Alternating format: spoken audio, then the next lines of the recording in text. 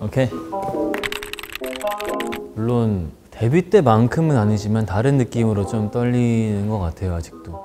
익숙한 환경도 있지만 새로운 환경도 있으니까 좀 기름지거나 그런 음식은 조금 피하려고 하는 것 같아요. 영화나 드라마 볼 때도 있고 또 차가 좀 건조할 때 같은 경우는 피부 관리에서 팩하거나 그럴 때도 있고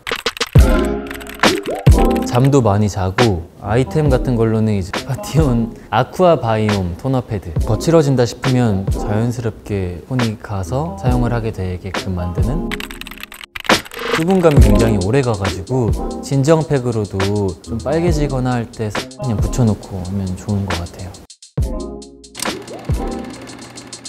수고하셨습니다. 수고하셨습니다. 수고하셨습니다.